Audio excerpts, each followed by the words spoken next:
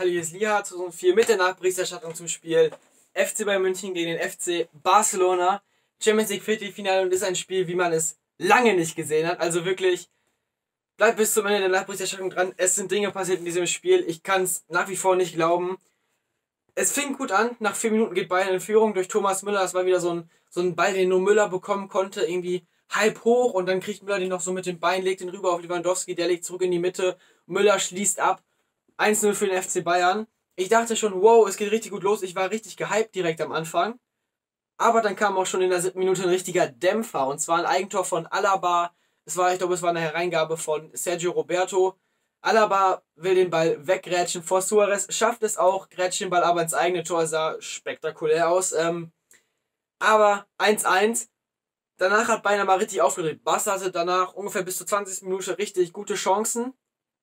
Und dann ging alles den Bach runter. 22. Minute, Tor durch Ivan Perisic. Links ungefähr ein bisschen weiter entfernt vom Fünfer, aber ungefähr Fünfer Ecke stand er. Schießt den Ball aufs Tor, der wird noch von, Len von Longley abgefälscht. Testegen ist auch noch dran. Der Ball geht aber ins Tor, da kann man nichts machen. Und in der 28. Minute, also nur wenige Minuten später, erhöht Serge Gnabry auf 3 zu 1. Und da dachte ich schon, okay, wow, jetzt geht's aber richtig los. Drei Tore in der ersten Halbzeit. Und das nach 30, nach nicht mal 30 Minuten, das geht richtig ab, dieses Spiel. Aber es wurde noch besser, denn in der 31. Minute hat nochmal, hat es nochmal gemüllert. Thomas Müller mit seinem zweiten Tor des Abends, ich glaube, das war ein Kopfballtor.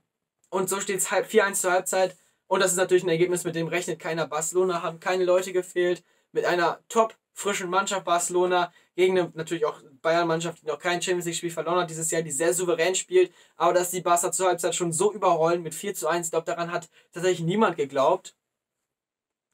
In der zweiten Halbzeit erzielt Barca den Anschlusstreffer, 57. Minute Luis Suarez, das war tatsächlich ein, ein gutes Tor.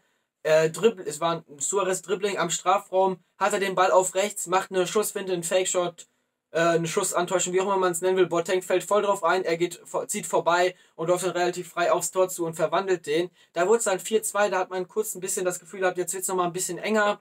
Barca nochmal ein paar mehr Chancen gehabt, aber 63. Minute, Josua Kimmich, 4 zu 1, äh, 5 zu 1, Entschuldigung, nee, 5 zu 2, so rum 2 zu 5, jetzt habe ich es. Ähm, nach einem geisteskrank guten Dribbling von Davis, da hat Davis echt Semedo komplett hops genommen, kann man so sagen.